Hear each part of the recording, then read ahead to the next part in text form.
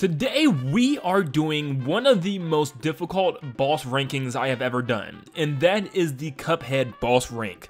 Yes, this is all of the bosses from the main game and the DLC, all on the expert game mode, meaning that these were extremely tough. Now, just to tell you guys right now, I have completed all of these already, but my recording didn't work, so I had to go through and literally play them all over again. So yes, I was completely drained, but this allowed me to see which bosses were the hardest in this game for sure, and let me tell you, it is a lot different from the regular versions of all these bosses, as that list might be a lot different from this one. And once again, I picked Expert because I truly wanted to see how hard these bosses could get and make a true list from that. Also, I thought I'd mention exactly what I was using for all these bosses. Shot A, I only ever used the pea shooter or the chaser in every single battle. For shot B, I only used spread. For my super, I only used the first one, which was the super art 1 energy beam. For my charm, 90% of this I used the smoke bomb, but for some of the plane levels, I had to use the heart ring just to gain myself an extra heart or two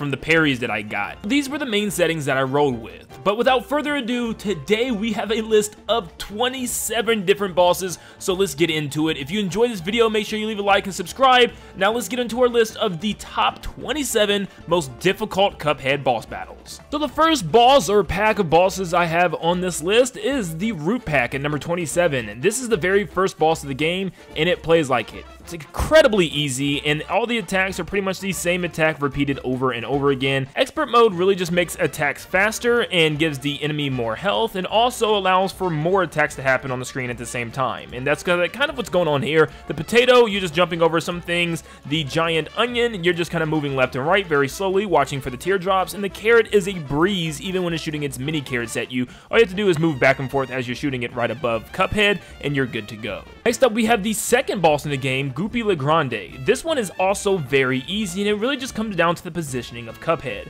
Make sure that you're always center of the stage and you're really never going to get hit, just moving back and forth and stay center of the stage and let the thing just jump over you every time. The second phase, he just gets bigger and then throws out a punch, and you can literally just duck underneath it. It doesn't come near you. You're more worried about his big mass than his punch. Final stage is a giant gravestone that tries to slam on you, and literally using the dash technique, you can just get out of there every time it falls down. Never a problem. Number 25, we have the Castle Gauntlet from the DLC. Now, this one is very weird because they're different bosses that you fight separately, but I group them all together. And to fight them, you don't shoot them at all. Instead, you just parry. And they aren't too difficult. Once again, you fight them all separately. You can do the entire gauntlet, but in order to beat them, you just do them separately. But the pawns are extremely easy. You just wait for the ones with the heads to jump down and bounce off of them while jumping over the others. The knight, it's really just patience. You wait for him to swing or charge towards you and start jumping off of his head by parrying. You then have the bishop where you take out some candles and then eventually parry off of his head as it moves around the stage. Now the rook can be one of the most difficult ones because you have to knock back decapitated ghost heads back at him by parrying at the right angle so that way they shoot towards them, because if you don't, they'll shoot backwards or straight up in the air. So this one can be very difficult because you have to pay attention to volleying these heads all the way back to him without getting hit by the sparks flying towards you. Then you have the Queen, which is one of the only bosses in the game where you use foreground objects to fight it in the background, as she throws all types of like fancied eggs at you, and you have to watch out for her giant column of chess pieces that you have to parry off of. This can be very difficult, but once again, it's a very short phase, and you only have to hit her like four to five times, and you don't have to fight the others in a row in order to beat this game, thankfully. Next up, we have one of the secret bosses within the DLC, the Devil and Angel. This one is really just staying calm under pressure. If you can stay calm and you can focus, you're probably going to be fine. It's not that difficult, it's not that long of a boss fight either. It really is just about looking the right direction at the right time and making sure you're positioned well on the stage. Wherever Cuphead decides to look will be where the devil is, and wherever he's not looking is where the angel is. So you have to, you know, kind of alternate back and forth to make sure you don't get hit by strong attacks and also the fireballs that are coming at him. Werner Werman has a very cool Tom and Jerry approach to it, but the whole Tom part, which is the actual cat, really isn't the most difficult part. The most difficult part is the earlier versions of the mouse. Yeah, the mouse is kind of controlling this whole boss battle, and the most difficult part for me was definitely the blade saws coming out of the sides, which was the sharp bottle caps. You had to dodge them in the right way by moving up and down on the platforms, and that's why the smoke bomb was so good, so that way I could dash my way past them if I needed to. But for the most part, this was a very easy boss, and even when he gets into his giant cat robot, if you have any type of special loaded up, you can hit him with a special and finish him off extremely quick before he can really throw out any attacks at you. Number 22, we have Cagney Carnation, and this is a lot harder than what people think. Trust me, play it on Expert, you'll find out. These little seed things start falling from the sky like every 3 seconds. These little nipper plants come out and chase you around the entire stage. I promise you, it's a lot more difficult than you think. Try it out on Expert, maybe it's just me, but this boss battle was a lot harder than what I thought so far with the others as already on this list. Now, the other phases aren't too bad, it's really just the first phase for me. Getting away from all those floating plants and stuff was probably my downfall, but without that, everything else was uh, pretty much a breeze. Sally's stage play is one of the last bosses you'll fight in the main game, and it's really not that difficult at all, especially for a final island boss fight. All you gotta do is just make sure you're moving left and right at the right times in order to dodge her falling out of the sky. It's really nothing else but that. The hardest phase for me was definitely the second phase because the babies are throwing bottles at you and she's got like these little robot mice coming out of her umbrella and they move so weird like up the side of the screen and then back down at you. So you got to constantly keep your mind on everything that's happening in the background and the foreground as well yeah, it can be kind of tricky. But everything else is very simple. You just have to parry and jump over the giant wave that's coming at you for the third phase. Obviously, Smoke Bomb works very, very good for this. And in the final phase is really just a joke. Jumping back and forth over the umbrella and shooting her out of the air, you'll be done in a breeze. Now, I didn't want to put every single King Dice mini-boss on this list, or this list would be close to like 50 different bosses. So I put them and grouped them together based on how overall easy this boss fight can be. For one, hitting the dice, you can really make this an extremely easy boss battle. By just timing your dice presses, you can get through it by only fighting like three bosses and gaining extra health the entire time. By the end, you'll have like seriously six hearts, and it's almost impossible to lose the boss battle. Let's just quickly run through the bosses. So the alcoholic drinks are probably one of the worst. I can't stand them, there's too much stuff going on at once, and you have to keep track of everything. Once you start eliminating one at a time, you'll be good, but that stupid bourbon glass in the front, uh, the poker chips just take a very long time to finally defeat. It's incredibly easy. Just watch out for the chips slowly moving towards you from left to right and right to left. Not a big deal. If you have Smoke Bomb Dash enabled, the Magic Bunny is literally no threat at all. The Claw Machine Monkey was easy, but just took literally 10 years. It should have just been its own boss battle earlier in the game. The Cigar is freaking terrible. I hate him. There's too much stuff going on and the cigarettes floating up from the middle and his crazy floating fireballs and waiting for him to come to your side.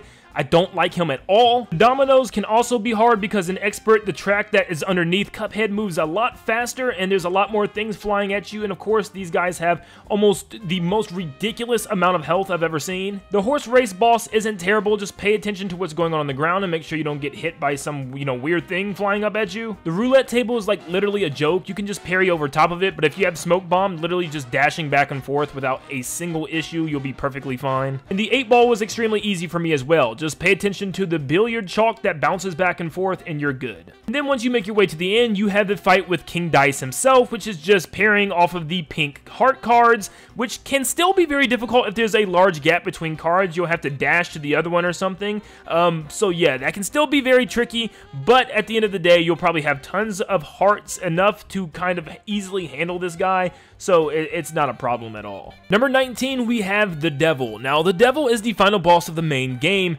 and it really isn't that difficult. I know a lot of people have problems with it, but for me, even on the expert game mode, I didn't have to try too many times in order to finally take them down. The first phase is fairly simple, everything's happening kind of stagnant and away from each other instead of at the same time, which makes Cuphead very hard, and the second and third phases is really just blasting his eyeballs, and his attacks are still very easy to dodge. It only gets kind of difficult is when you have that one platform left, and there's still poker chips and different things flying at Cuphead on that one platform, meaning that you'll probably need the smoke bomb and some other type of dodge in order to dodge out and back in multiple times to make sure you're okay. With that equipped, you really should never have a problem with this boss, and it should only take you a couple tries to beat him at most. Now we're starting to get into the territory of bosses really putting up some serious fights, and for number 18 we have Wally Warbles. For the first phase, you really just have to dodge the eggshells bouncing off the wall. It's not too hard, but then you go through a segment of tons of feathers shooting at Cuphead, and it's really about just keeping your eye on Cuphead, making sure that he's in a good position, moving him up and down real quickly,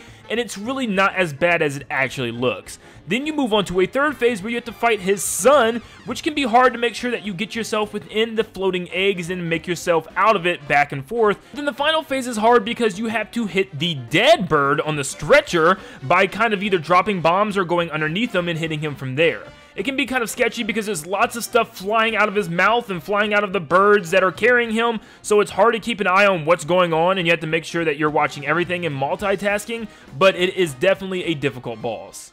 Next up, we have Beppi the Clown, but it's funny because Beppi himself isn't the main issue, it's everything else that's going on in this stage. First phase, he'll try to run you over with his bumper car, but your main issues is watching out for the ducks at the top because you can clash on them when you go to jump over him but it's not that difficult. The second phase, he calls in a train and starts shooting things at you, and this train will be your demise. Beppi, once again, isn't difficult. All you have to do is watch out for his balloon dogs and just continue to blast his head, but it's the train that's the main issue because you can bump into and take damage from the passengers. The third phase isn't too bad, but can be very difficult based on timing. There's one attack where he'll shoot horseshoes out horizontally. You're forced to jump over the passengers in the train car, which kind of puts you in an awkward position to almost have to take a hit if you get in that timing the wrong way Honestly, with the final phase, he turns into a big top, and he's got all these minions throwing baseballs at you, and if you don't have the smoke bomb, you're really going to probably take some hits here. The smoke bomb is a savior because it allows you to go through all the baseballs and dodge them in midair, so that way you stay on the platforms and not take damage from the train below. It can be a very difficult boss battle if you don't have the right setup. The Phantom Express is another boss battle about keeping positioning, and if you keep good positioning, you should be fine. The first phase is extremely easy. You can really just, you know, stock up on parries and easily take out the first boss, and then you move on to the second portion, which once again, huge positioning. You have to watch out for the floating jack-o'-lanterns because they will drop these candies, which will parry off of your cart, pushing it in different directions. This is the probably most difficult part about the entire level, is keeping your eyes on these guys because they will continuously move your cart, and if it's in a wrong spot, you will get destroyed. But just taking out the skeleton's head is really no big deal, and even if you're not near the head, you can stand between the hands and still be fine. Phase 3 are these things. I still don't know what these are supposed to be, like some evil lollipops or something. I have no clue. But it's once again not that bad at all, especially if you have a super where you can blast them right away, and just make sure you stay out of the way when they go to charge their lightning. Taking out one ahead of time leaves only one left, which makes it extremely easy to dodge. Just pay attention to where these ghosts are coming because these ghosts do drop parry skulls, which will move your platform that you're on. Chances are you took a couple hits through all of that, and that leaves you with the final portion, which is the runaway train, which you have to parry off of his tail and take out its heart, which is still very difficult because you can't really see anything falling, but there are falling fireballs and even this like bone thing that follows you around the stage, and it can be very difficult to keep your eye on everything moving at once, so make sure you definitely have a special saved up for this moment. Number 15, we have Djimmi the Great. Now this boss really just depends on how his first couple of phases affect you. For instance, he has three different types of the phase 1. The first one are these little cats that open up and send these little bug cats at you. This isn't too bad, especially since you can parry most of them, so it's not the worst one. The other one is swords that moves at you one by one, and one of them will be pink allowing you to parry, but that could be difficult as well. Probably the hardest one to me is the chest of treasure, which will shoot tons of treasure at Cuphead, now, you could probably just stay up to the top or bottom of the screen and be fine, but a person like me, I just want to make sure I'm dealing damage to him the entire time. Plus, the treasure still follows you, so this one, I don't know, was the hardest phase 1 for me. Phase 2 was extremely easy, just busting down different columns and making your way through the different types of pillars with his face on it. it it's not that hard. But then it's just the fact that there's still so many more phases left. This next phase, you have to shoot this gooey thing coming out of the coffin, and then eventually moving your way to another phase where you have to fight this Cuphead puppet. Now, the problem here is that the genie's hat is still firing random projectiles at you, so you have to keep your eye on multiple things once again, and you can't approach the puppet or you'll get blasted as well, so you have to keep your distance, which is just very difficult. But you're still not done because you have to fight Djimmi himself now as a giant version, and these pyramids you have to watch out because they shoot these weird lasers up, down, and left and right, and including the fact that he's still blasting stuff at you through his hat. This is a very difficult boss fight, seriously, and if you find yourself in the wrong position, you can't escape. Now, maybe I'm slightly tripping on this one, but Ribby and Croaks on expert mode is a lot more difficult than what you expect it to be, even for being an early boss. This boss can light you up. So first off, you have different Hadoukens coming out of Ribby's fist, but Croaks is in the back shooting out these fireflies, which can easily distract you, and you have to make sure that you destroy them before you have to duck and dodge from Ribby's attacks. And both of these happening at the same time can just be so frustrating. Phase 2, Ribby is still doing his projectile attacks, but at the same time, Croaks is using a fan to kind of push or pull Cuphead, which kind of messes you up, and the fact that since on expert mode, these attacks are moving faster and there's more of them in this tight little spot that Cuphead is in, so it's easy to get blasted at any point's notice. But it isn't until the final phase where they form into a slot machine. These coins are firing at you at an extremely fast rate here in this expert game mode to slowly make your way to parry his handle. And then, once he switches out these different projectiles, these are extremely difficult to dodge in expert because they are moving at an entirely fast speed. And with them moving so fast, you have literally a split second to decide whether or not if you have to jump or duck, and sometimes it's just too late. And sometimes it's moving so quick, not only do you have to jump, but you have to land on one platform and make your way to the other one without falling and it's just moving way too quick for the mind to process this, at least mine at least. Next up, we have Captain Brineybeard, and this is another case of just making sure you're paying attention to everything that's going on. Definitely a big multitask boss battle. If you're not good at multitasking, this was probably one of your hardest ones. You have to keep an eye on the barrel at the top of the screen dropping down on Cuphead, the boat eventually shooting cannonballs, Brineybeard himself shooting different things at you in projectiles, and also him calling his friends, either the squid, which you have to make sure you kill or he'll block your screen, the shark, which will come in to the left side of the screen, or his little guppy dogs, which will jump out of the water and try to bite Cuphead. And there's like four or five of them. Not to mention, all of this is happening like literally at the same time, which can be so screen filling and sometimes it's just too much to the eyes. And the final phase is less of a clusterfest and more of a just make sure you know where your positioning is on the stage. Because you have to occasionally dodge this giant laser, but make sure the barrel is not in your way because when you duck, you can no longer move. There's no crawl or anything, so make sure you're not under that barrel or you'll get smashed. You can also parry the laser multiple times, but that's if you're really insane, and I'm not that insane. I tried it a couple times, it just didn't work out that great for me. Baroness von Bonbon. Where do I begin here? So the most difficult part I think about this boss battle is just the random amount of enemies you could get. The enemies aren't too terrible. For the most part, you can get a good set. The candy corn moves very predictable, so you can just dash past it, and its little minions aren't that bad either because they just kind of float up to the sky away from you. The gumball machine just moves back and forth in the middle of the stage, so you just have to move left and right slowly to avoid the gumballs falling out of the sky. It's really not that bad. The Jolly Rancher also comes at you very slow like Pac-Man, and you can just simply just keep going around him, and even his little gumballs in the back aren't too big of a deal either. There's also like a waffle candy bar type of thing that shoots pieces at you that's not not too bad, but the worst one, without a shadow of doubt, is this stupid cupcake. The cupcake shoots these little shock waves of like icing or whatever it is off the top of it, and it's just annoying because it just hits you every single time and it's just hard to get attacks on him because he's moving in such a deranged pattern. Now the Chaser would probably be a very good weapon for this, especially this next phase I'm about to talk about, but this was just very annoying of a mini boss to get through before you get to the final form against Bonbon. But Bonbon eventually awakens the castle and starts walking with it, and this is seriously one of the most frustrating parts of the entire game. She throws her head at you, and it follows you consistently. On an expert mode, sometimes it's two heads, which gives you zero time to start aiming at her and shoot at her.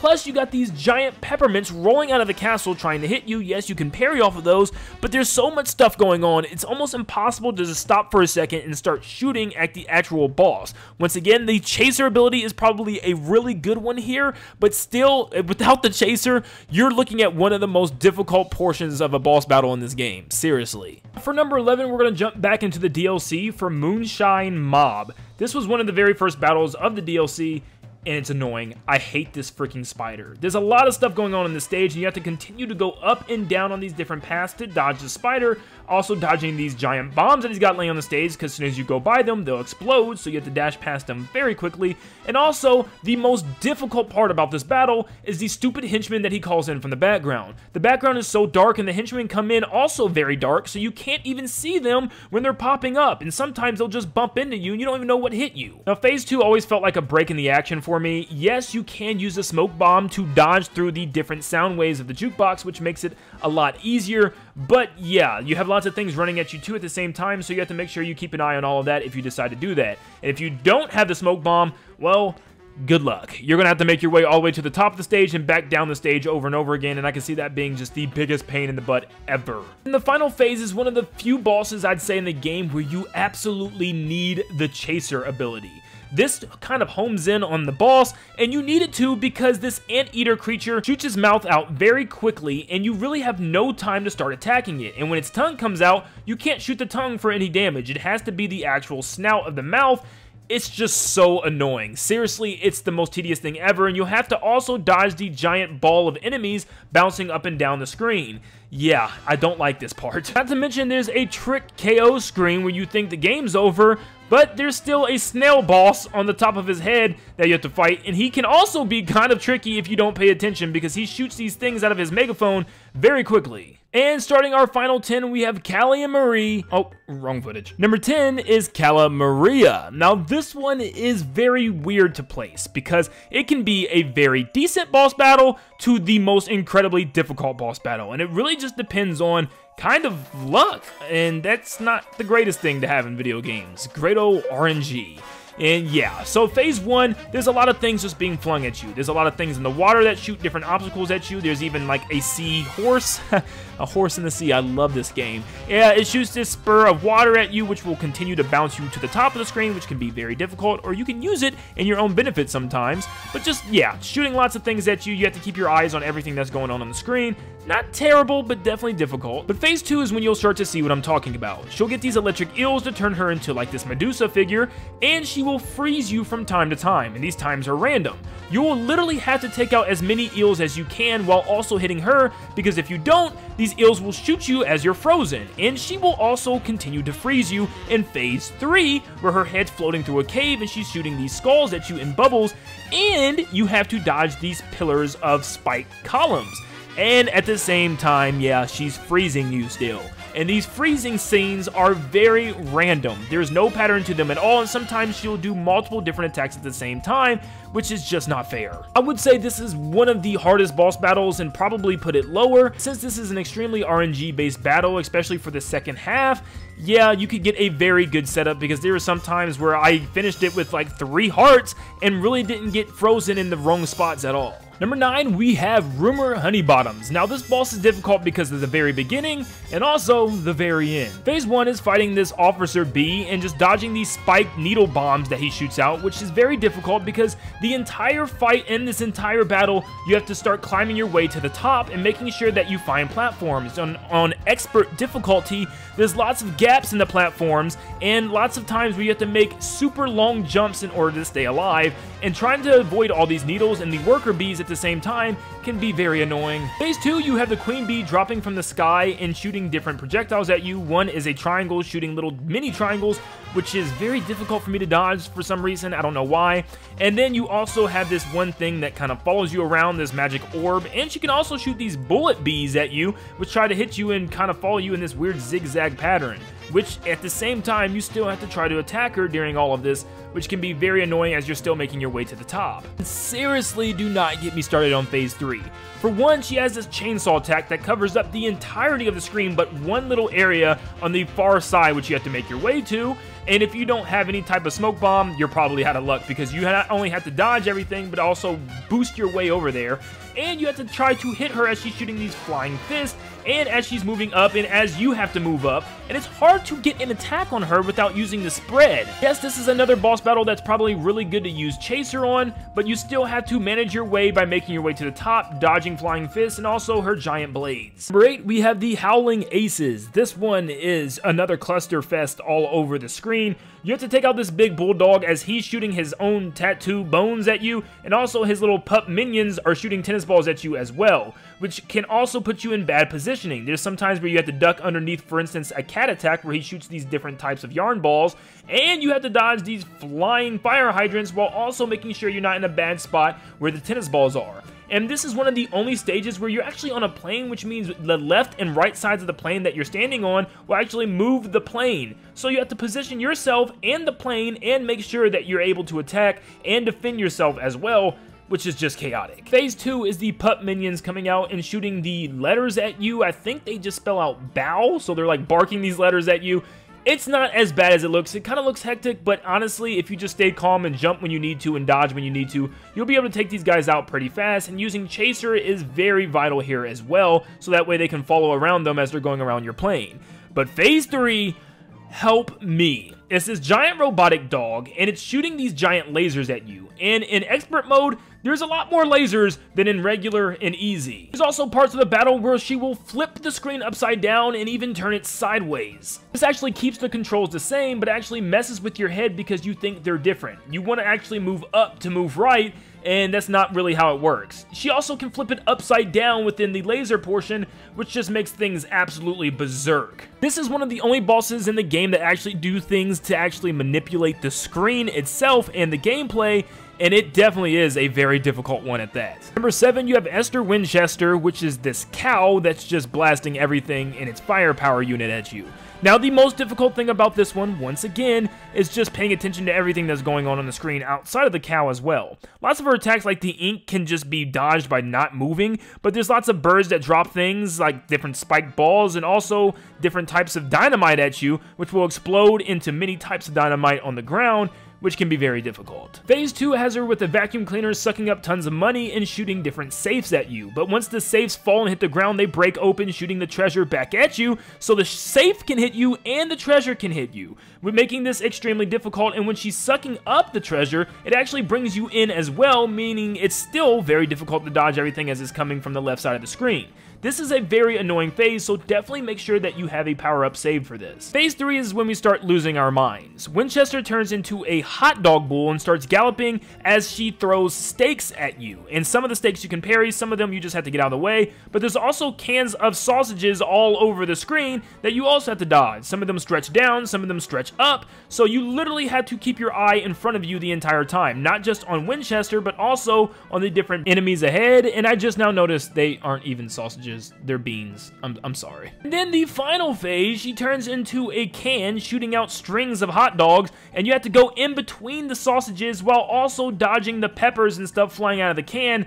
This is just chaotic, and this is one of the very few bosses, for the planes at least, where I needed the extra heart medal. Number 6, we have Glumstone the Giant. This is once again another DLC boss because man, all these bosses in the DLC were ruthless, but this one is once again not as bad for the giant as it is for these stupid, stupid gnomes. If you walk on the ground, the gnomes will poke their heads up, poking Cuphead in his feet, being very annoying, and they'll also come up, shoot fireballs, and also try to hit you with a hammer on the platforms. Your best bet is just staying on the platforms as long as you can until you see the geese crossing sign pop up, and it's just so stupid because the platform is raised and bump you right into the geese, and if you go down to the platform below, you're probably going to get attacked by gnomes. So you really are in a very tight situation there. It also leads you closer to him by bringing in this giant bear, which can be very difficult to dodge, and you have to move at the last second. But phase 2, Oh my goodness, phase 2. In regular mode, this was nothing, so I really wasn't expecting this to be much more difficult.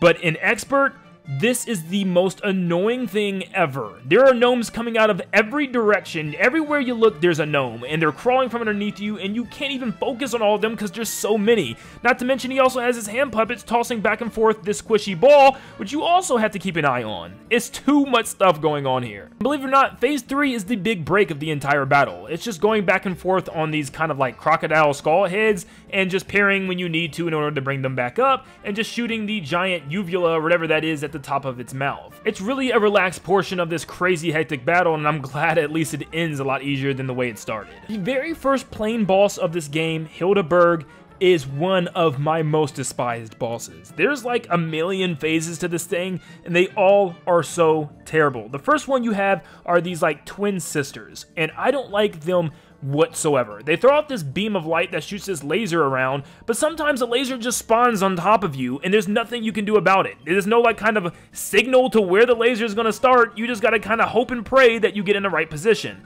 The tornadoes, they chase you, and they chase you well. You have to get very close to her to get out of the way of those, and also dodging all these stupid planes and ha-has that she sends your way. I believe the next phase is like an Artemis fight with his arrow, which is also very annoying because after he shoots an arrow, these blue stars follow you around until you're able to shoot shoot them, and sometimes it's hard to shoot them because they're so tiny. In the final phase, I don't even want to go over. It's just annoying. She turns into this giant crescent moon, which is fine, and the stars are easy to dodge, but these stupid UFOs fire these lasers down at such random times, it's almost impossible to guess when it's going to happen, and you just got to kind of guess when to position yourself and where to position yourself. It's just annoying. Next up, for number four, we have Grim Matchstick. This one is iconic for being known as one of the hardest Cuphead bosses in any difficulty ever. And if you were to go in regular difficulty, this one would probably be one or two.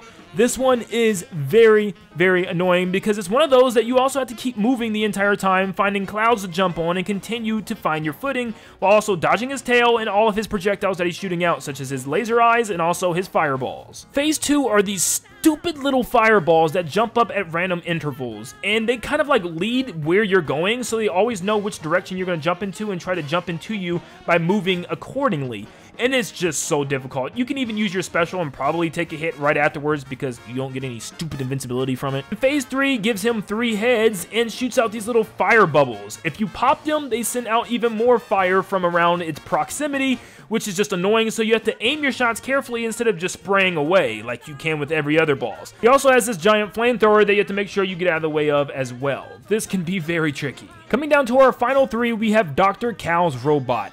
I despise this robot with so much of my entire being. This was in the main game the only boss that I could not beat on Expert, and it literally has taken me all the way to come back today because of the DLC, which was like a year and a half, two years later, and finally able to beat it, and I celebrated like a maniac. Yes, this was one of the also few bosses I had to use the extra parry heart medal to get more hearts, because man, this boss is a pain in my rectum. My strategy for the phase 1 was always to beat out the waist area, then the heart, then the head, which normally worked pretty well. I also had to make sure that I kept shooting the giant missiles that would come out of him because they release a giant shockwave afterwards, and it's not fun to deal with that. But Phase 1 was never too difficult, and neither was Phase 2. You just had to make sure that your timing was good and just got out of the way at the right time. But Phase 3 is the single-handedly most annoying phase ever. He sends out these crystals that shoot out these bullet barrage of random attacks that you have to continue to watch, guard yourself, and be ready.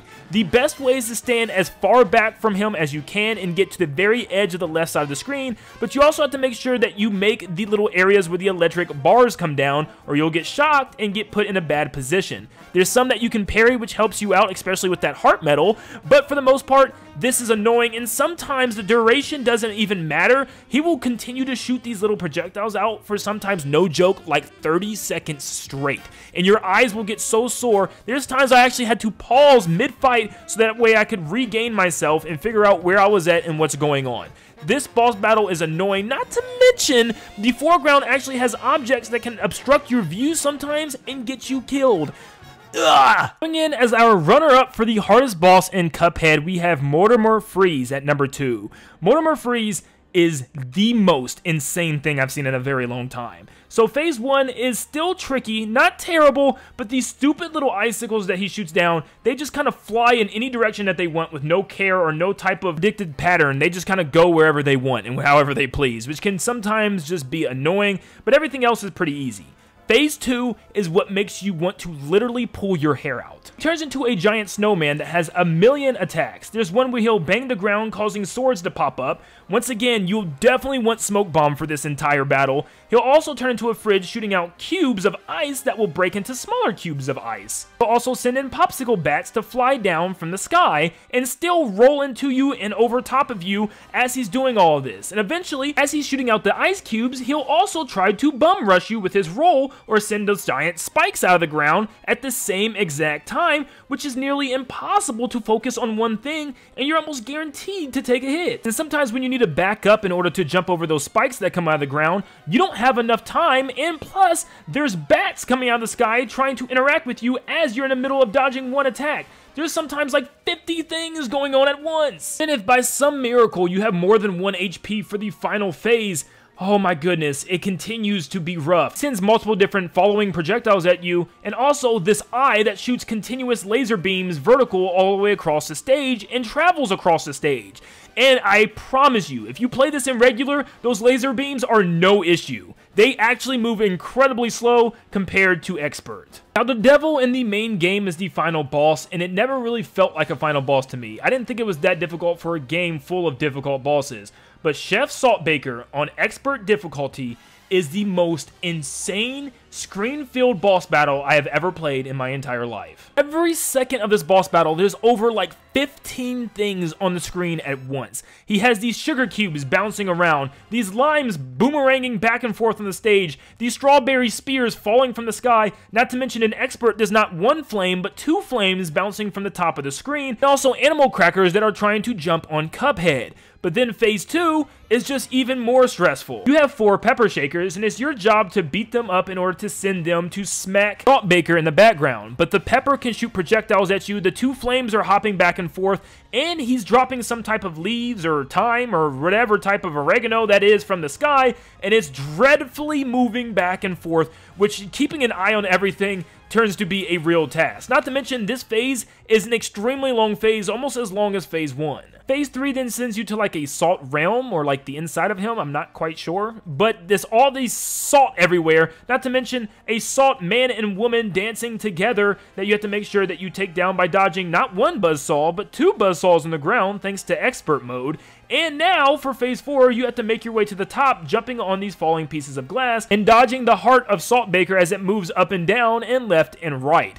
And this can be very tricky, just make sure that you keep your footing, and you can tell that this phase was made just because they knew you would probably only have one or two pieces of heart left, and yeah, it's very difficult. You can parry off of him, which is very satisfying, but you can't attack, I don't believe, or he's like invulnerable once you parry. So use your parry only if you must in order to get by him, but man, this was a boss battle. Woo-wee! Okay, we are finished. Thank you guys so much for tuning in. This was one of the longest videos I think I've made in a very long time. So please, make sure you leave a like and subscribe if you really enjoyed this video. And if you want to see even more Cuphead videos, maybe just ranking the best bosses in the game and other things like that, make sure you leave a like, subscribe, turn on post notifications so you can stay up to date on whenever I post. Thank you so much for tuning in, and like always, I'll see you all on the next one. See you guys.